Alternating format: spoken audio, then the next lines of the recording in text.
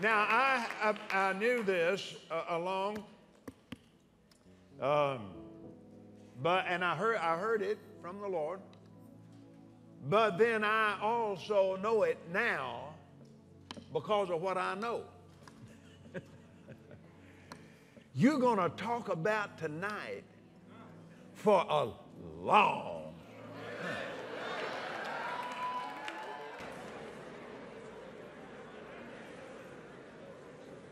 Brother Tony, come on up, would you please?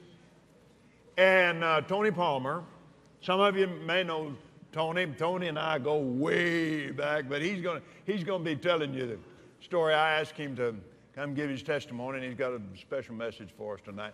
So, would you welcome Tony Palmer to this platform? Bishop, thank you, sir. Bless you. Yes, sir. Amen.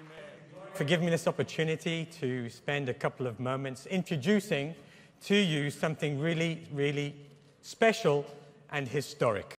Now, why is it historic? Because in 1999, the Roman Catholic Church and the Protestant Lutheran Church signed an agreement that brought an end to the protest. Luther believed that we were saved by grace through faith alone. Amen. But that's not it. The Catholic Church believed that we were saved by works. And that was the protest.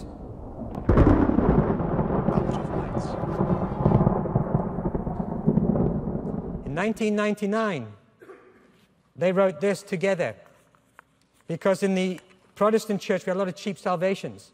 People were getting born again, but no fruit whatsoever. So, what these two churches did, they put the two definitions together Listen to it. I'm reading verbatim from the Catholic Vatican website. Justification means that Christ Himself is our righteousness, in which we share through the Holy Spirit in accord with the will of the Father.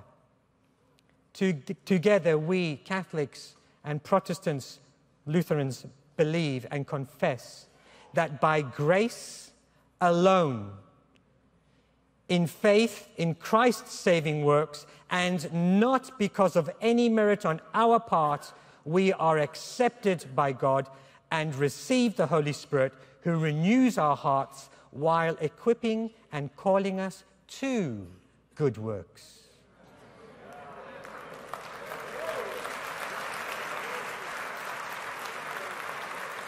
This brought an end to the protest of Luther. And I'd like to pray this prayer. And if you agree, you can say amen.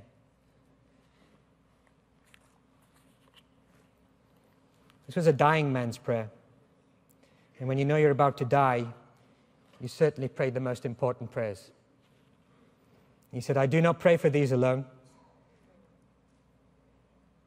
but also for those who will believe in me through their word, that they all may be one, as you, Father, are in me and I in you, that they may also be one in us, so that the world may believe that you sent me. And the glory which you have given me, I have given them, that they may be one as we are one. Glory to the Father. Amen.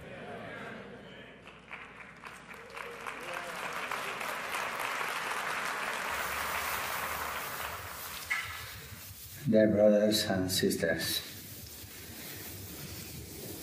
Excuse me because I speak in Italian, but I am not speaking English. But uh, I will speak no Italian, no English, but carefully. È una lingua più semplice e più autentica. E questa lingua del cuore ha un linguaggio e una grammatica speciale. La grammatica semplice, due regole. Ama Dio soprattutto e ama l'altro perché è tuo fratello e la tua sorella. E con queste due cose andiamo avanti. Io sono qui con mio fratello, mio vescovo fratello Tony Palmer. Siamo amici da anni. E lui mi ha detto del vostro convegno, del vostro raduno. E con piacere vi invio un saluto. Un saluto gioioso e nostalgico. Gioioso perché eh, a me dà gioia che, che voi siete riuniti per lodare Gesù Cristo, l'unico Signore, eh, per eh, pregare al Padre e ricevere lo Spirito. E questo dà gioia perché si vede che il Signore lavora in tutto il mondo. È nostalgico perché ma succede come nei quartieri fra noi. No? Nei quartieri ci sono famiglie che si vogliono e famiglie che non si vogliono, famiglie che si uniscono e famiglie che si separano. E noi siamo un po', mi permetto la parola, separati. Separati perché i peccati ci hanno separati, i nostri peccati. Eh, I malintesi nella storia, ma una lunga strada di peccato comunitario. Ma chi ha la colpa? Tutti abbiamo la colpa, tutti siamo peccatori. Soltanto uno è giusto, il Signore. E io ho la nostalgia che questa separazione finisca e ci dia la comunione. Io ho nostalgia di quell'abbraccio di qua, nel, del quale parla la Sacra Scrittura, quando i fratelli di Giuseppe, affamati, sono andati a Egitto per comprare per poter mangiare, ma andavano a comprare, avevano i soldi, ma non potevano mangiare i soldi. E lì hanno trovato qualcosa più del pasto, hanno trovato il fratello. Tutti noi abbiamo dei soldi, i soldi della cultura, i soldi della nostra storia, di tante ricchezze culturali, anche religiose, tra, tradizioni diverse. Ma dobbiamo trovarci come fratelli. E dobbiamo piangere insieme, come ha fatto Giuseppe. Quel pianto che unisce, pianto dell'amore. Io vi parlo come fratello. Eh? E vi parlo così semplicemente, con gioia e nostalgia. Facciamo crescere la nostalgia, perché questo ci spingerà a trovarci, a abbracciarci e a lodare Gesù Cristo come unico Signore della storia. Vi ringrazio tanto per sentirmi. Vi ringrazio tanto per lasciarmi parlare la lingua del cuore.